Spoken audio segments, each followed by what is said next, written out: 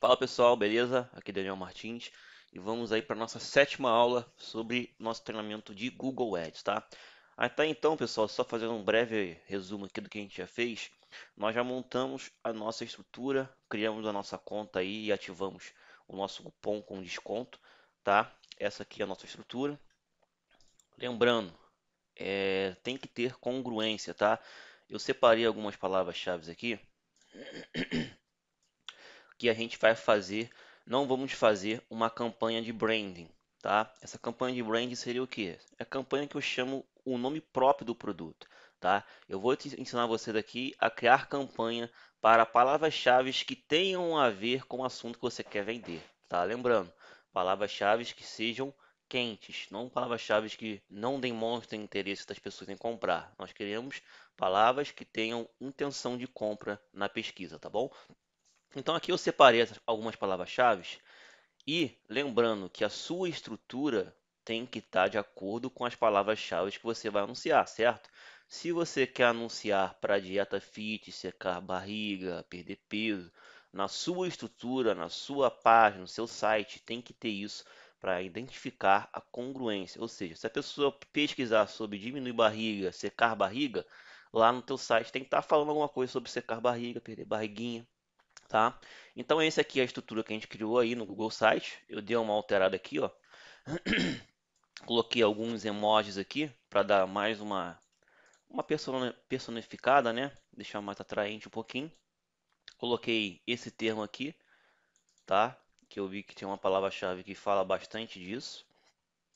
E adicionei também os emojis aqui e outros aqui, tá? Aqui está o link. Toda essa estrutura aqui eu criei de, gra de graça, tá? No Google Site. Para você que não viu as aulas anteriores, dá uma olhada lá, que é bem simples de criar e bem rápido. Tá bom? E agora vamos criar a nossa campanha, tá? Como nós vamos fazer? Ah, só para mostrar para vocês como é que eu achei essas palavras-chave. Para quem quiser, tiver curiosidade de identificar as palavras-chave, vai aqui em ferramentas, planejador de desempenho, não, perdão, planejador de palavras-chave, Aqui, ó, ver volume de pesquisa e digita aqui o termo que você quer pesquisar. Tá?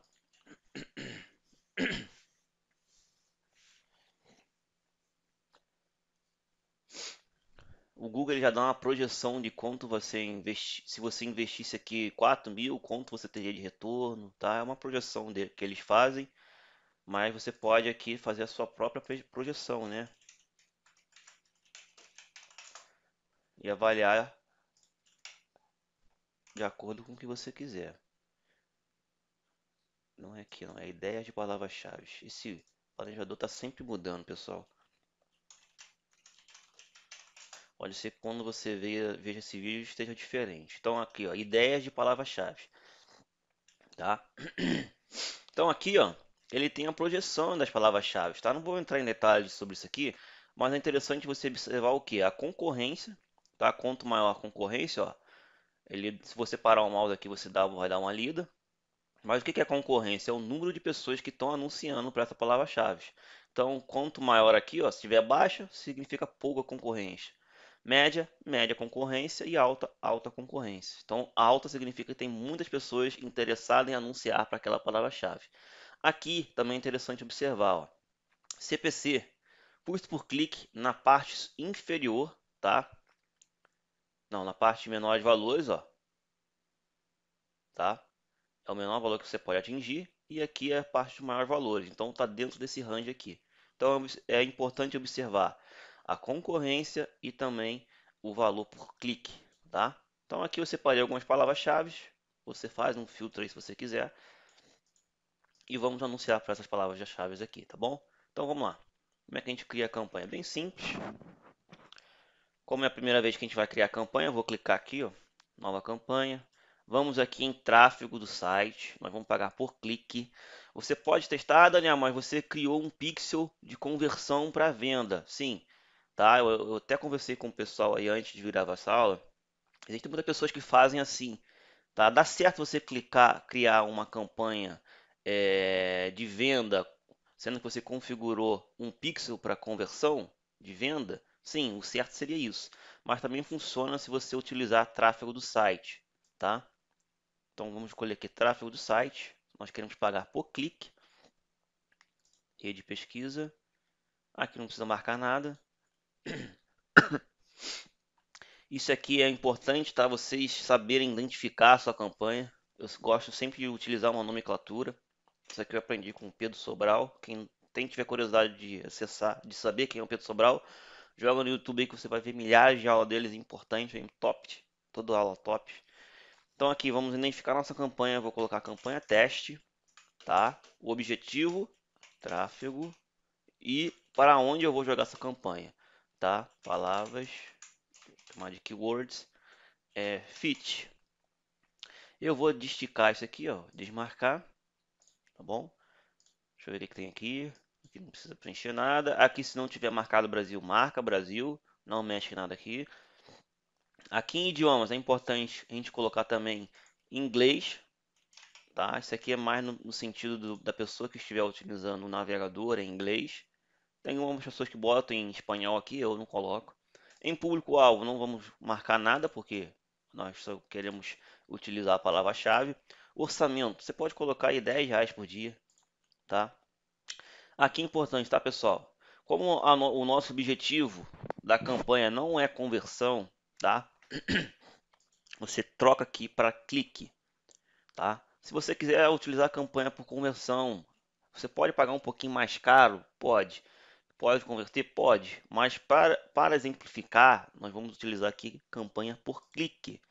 E eu vou definir o limite máximo de custo por clique. O que, que significa isso? É o quanto que eu quero pagar por clique, tá?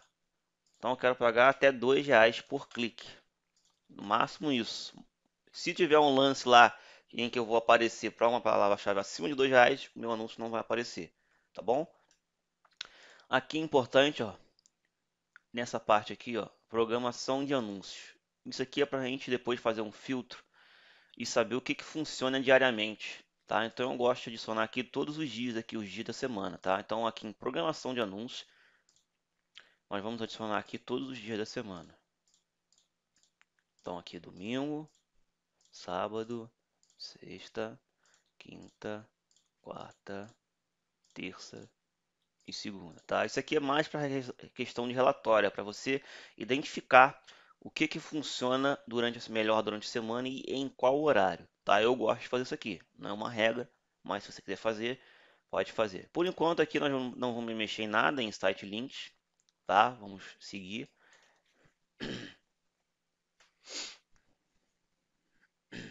Aqui é importante também para você saber o, que, que você está anunciando. Lembrando, organização dá mais ROI. Então, quanto mais você for organizado, melhor para sua campanha. Então, aqui eu vou identificar esse anúncio como AD1, D1 e o nome aqui, objetivo, que é a campanha Fit. Fit, tá? Aqui nós vamos colocar as nossas palavras-chave. Essas aqui, ó.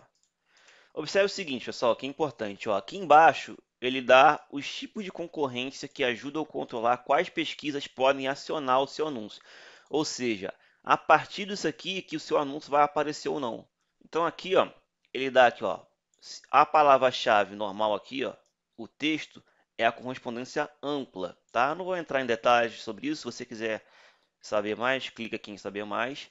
Palavra-chave correspondência de frase, e palavra-chave correspondência exata. Ou seja, vou dar um exemplo rápido aqui. Seu anúncio, se você utilizar a palavra-chave para correspondência exata, que é a palavra entre colchetes, a pessoa tem que digitar exatamente aquilo ali no Google para que o anúncio seu apareça. Tá? Se você se a pessoa digitar uma palavra-chave dieta fit é, 2, 3, 4, 5 fit, uma, palavra, uma coisa assim sem sentido, e você não utilizar nenhum caractere, nem aspas, nem, nem a. O, eu esqueci o nome, acabei de falar, esqueci o nome disso. Esse carinha aqui, o seu anúncio vai aparecer. Tá? Eu gosto de utilizar correspondência de frase. Então nós vamos usar crase. Aqui, ó. No início e no fim das palavras-chave, tá? Ó, só colocar crase. Se tiver alguma palavra com duplicidade aqui, você tira, tá? Para a gente não pagar algo a mais, mesmo que o próprio Google depois ele te ajuda a otimizar sua campanha e mostrar isso, tá? Então aqui nós vamos seguir, tá? E aqui é onde acontece a mágica, aqui é onde nós criamos exatamente a nossa campanha. A primeira parte aqui é o URL final, para onde o cliente vai ser levado. Tá? Então nós vamos utilizar aqui ó, o nosso, a nossa basezinha que criamos. Tá? Título. Vamos se basear o título em palavras-chave. Tá? Como eu quero anunciar o RFS 200, que é o meu produto FIT, tá? Então o que nós vamos fazer aqui? Ó? Eu não vou usar esse termo aqui, eu vou usar algum termo da palavra-chave. Lembrando que nós não estamos fazendo campanha para branding. O que é campanha para branding? Campanha para nome de produto. Comprar um nome, a palavra-chave do nome do produto. Nós vamos anunciar para palavras-chave de forma geral, tá? Então aqui eu vou utilizar é, dieta dieta para perder barriga. E vou utilizar outro termo aqui,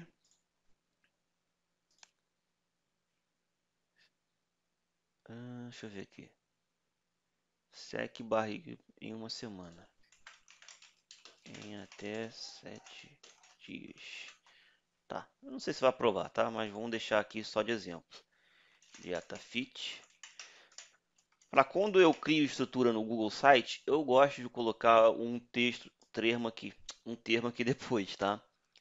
Porque como muitas pessoas utilizam essa estratégia do Google Site, pode ficar muito semelhante também se você utilizar sempre aqui Google Sites, porque não é um domínio próprio, tá? Então eu gosto de colocar aqui o texto depois do link do site aqui.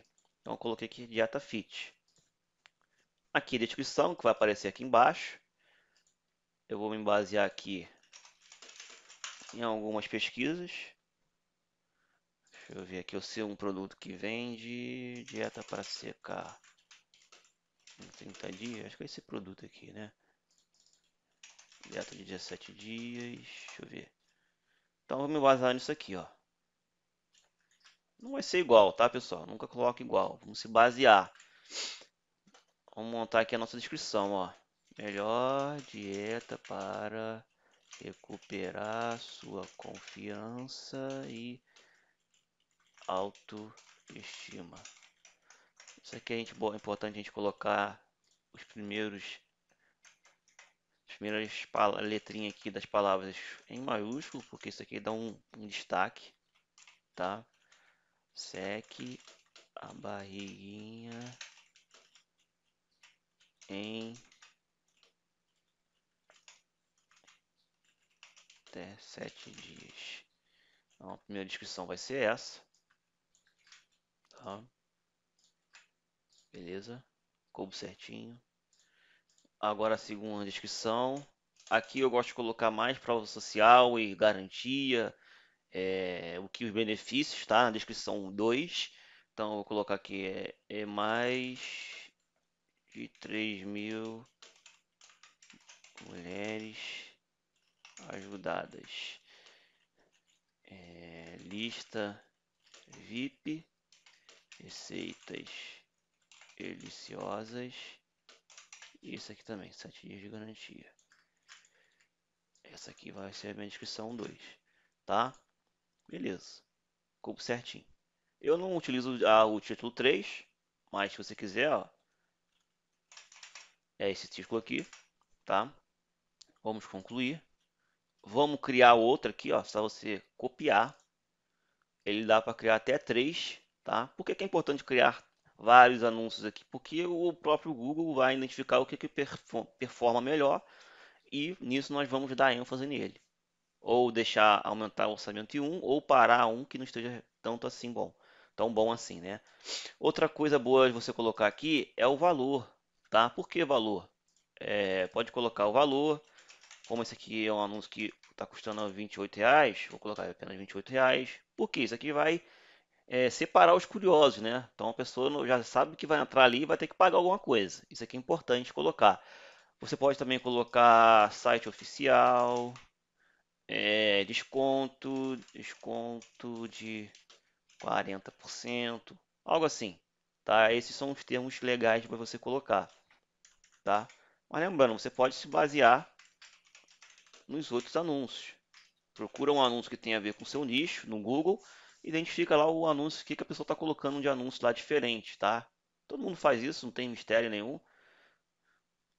Ah, posso colocar até isso aqui, ó. Vou, botar, vou colocar aqui, ó. Mais ou menos isso, ó. Não, vou deixar o valor mesmo.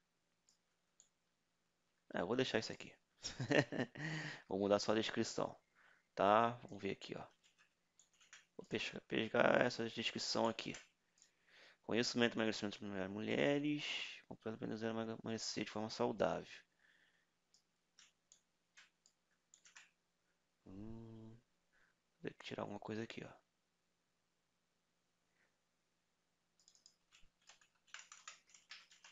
Material completo para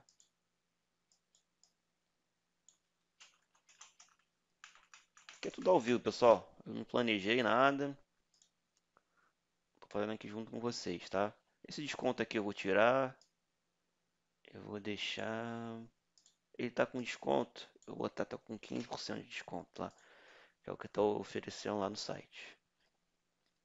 Concluído. Eu não vou criar um, um terceiro aqui. Se você quiser, a mesma coisa, só copiar e editar lá de acordo com o que você quiser, tá?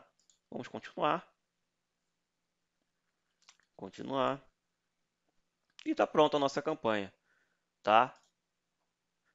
Aqui ele já deu porque estavam criando. E é isso aí. Vamos voltar aqui, ó. E esperar a nossa campanha aí ser aprovada ou não, tá? Vamos ver aqui em grupo de anúncios. Nossa, quando você entra aqui tá diferente. Tá vendo aqui, ó? Em anúncios, tá em revisão, tá? Daqui a um tempo a gente dá uma olhada aí, ver se vai aprovar ou não. Se não aprovar, temos que fazer alguma alteração ou no site ou na descrição, alguma coisa vai, não vai estar de acordo. Nós vamos aí é, editar para que fique de acordo com as normas do Google, tá bom? Tá, então é isso, pessoal. Eu vou ficando por aqui, tá? Essa é nossa sétima aula sobre Google Ads, onde nós subimos a campanha, tá? É bem simples, bem tranquilo. E na próxima aula eu vou ensinar vocês a como otimizar um pouquinho a campanha de vocês para algumas palavras-chave, tá? Então fique com Deus, não esquece de se inscrever, curtir, comentar se você tiver alguma dúvida e até a próxima videoaula.